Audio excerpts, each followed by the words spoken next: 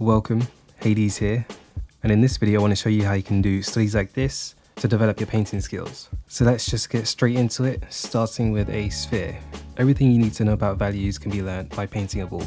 And as you can see, we're going to look at these six values. I'm going to start off by filling the shape I made using the lasso tool with an 80% on the value scale. And here I'm using the HSV slider to pick the values. Just make sure the saturation is set to zero. To find the shadow value, I'm going to use the halfway to black rule. So I'll just take the light value and half it so we get a 40% on the value scale. This is just a good estimate for finding the shadow value in a daylight environment. The ref here isn't in daylight, but I'm going to use it anyway. So the light and shadow values are the most important here. These two values here give the illusion of form. Next, we have the midtone value, which is just where the light is starting to fall off. It's like a bridge between the light and shadow. For this, I just pick a value that's just the light value reduced by a quarter, so that's going to be 60%. Then we have reflected light. light from the light source is bouncing all around the room in this reference, and it's filling up parts of the shadow, as you can see. If this were outdoors, we'd also see this value as light from the sky, or it could also be a secondary light source. So for this, I pick a value higher than the shadow, but lower than the light and midtone. So I went with a 50%. I added a darker value behind the shadows, you'll see why I do this uh, later on in the video. For the highlights, I just picked something that's higher than the light value and enough for it to stand out. Lastly, this ball is in contact with the table, so we get ambient occlusion. This is just where the light has a hard time getting to. Similar to the highlights, pick a value darker than the shadow value, so I chose a 20%. And one thing I want you to notice is that the shadow group of values are all darker than the light group of values. If you start mixing these, you'll run into muddy values, which we don't want. One thing I want to mention is the core shadow.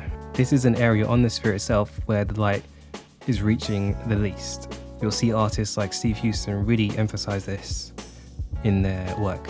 And you can see some bounce light filling up part of the core shadow at the bottom.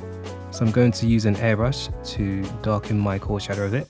With the airbrush you can build up your values so I just picked anything fairly dark and then gradually built up the core shadow. And then after all that we'll use a smudge tool to add a painterly look. When it comes to seeing values, we need to be aware that values will appear darker or lighter depending on the values around them. In this quick demo here, I created a gradient from pure black to pure white and I created a long brush stroke with a 50% value and you can see the illusion working right now.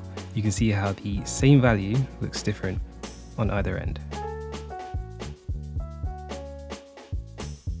Now let me create a new sphere here. I'm going to use an airbrush to add the shading, it's a lot faster.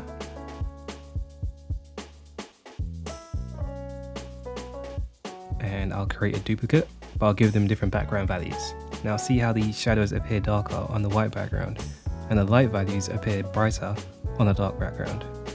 So if you want an area of your painting to stand out more, consider the values around it. Let's take a look at a box now and let's place a light source on the top right.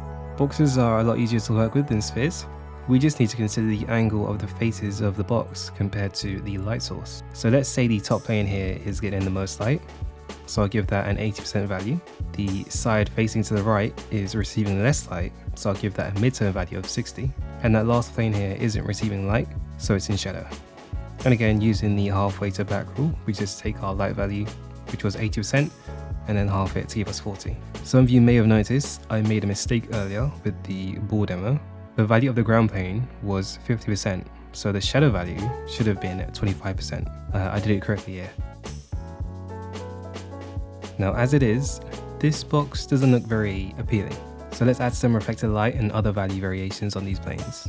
And all I'm doing here is just picking the values of each face and just shifting the values by about 5 to 10% up or down. And then I just create a gradient across the face. And just by doing that, it just makes it more interesting to look at. And just for fun, I thought I'd add a glow effect at the bottom. And here I'm using a hard square textured brush with a bit of opacity jitter. Now that we've looked at the box and sphere, rendering other primitives should be easy. The curved surface of this cylinder is pretty much the same as rendering a ball, and the top plane you can treat like a box. As for a cone, A cone is very similar to a cylinder, we just no longer have that top plane.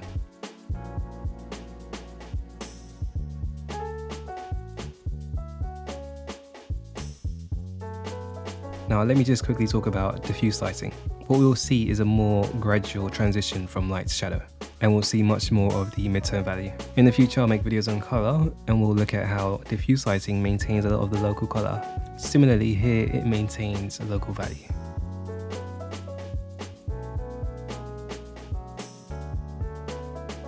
Edges are a big topic and I'll try and cover it a bit here. So we have hard edges all the way to lost edges. Edges are just a way to show how one shape relates to another. Recently I've been looking at painters who only use hard edges and I thought about how they relate shapes to one another.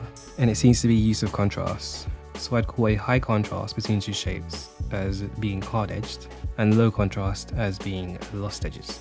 If that makes any sense in the context of a painting with only hard edges, uh, it's just something I've been thinking about as that sort of painting style appeals to me quite a lot. Edges can tell us about how a form turns. For a sharp turn, we'll use a hard edge, and for a gradual turn, we'll use a soft edge.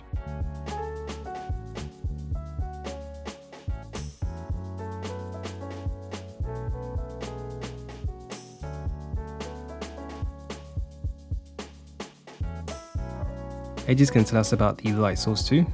We'll see soft edges in diffuse soft light, and we'll see hard edges when the light is hard.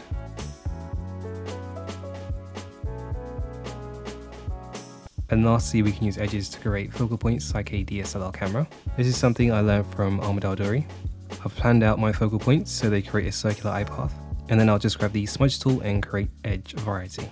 But I'll be sure to keep the focal points as hard edges, and everything else will either be a soft edge or a lost edge.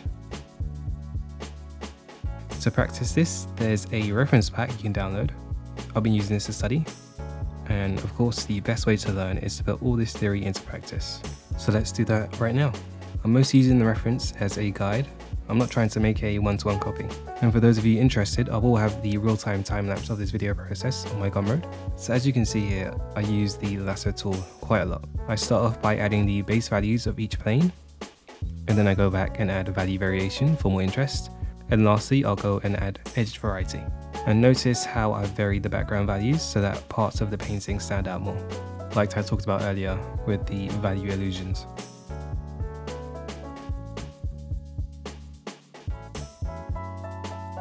Now if you want even more of a challenge, why not try doing a study of the Asaro head? Even with something this complex, we still want to simplify our values. So I group all the light values together, all the shadow values together, and the midtones. And then from there you can start rendering the smaller parts. So big picture first, and then small details later.